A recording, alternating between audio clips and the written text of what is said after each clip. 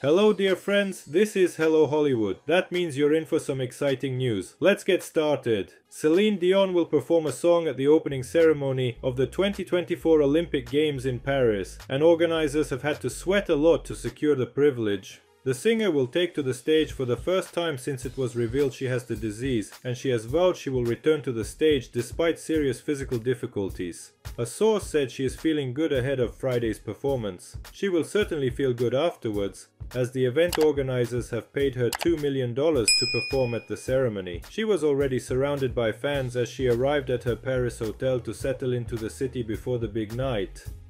Celine last performed as part of the Courage World Tour in Newark, New Jersey on 8th of March 2020. She then cancelled the tour amid the COVID pandemic. Dion's song will open the ceremony on Friday.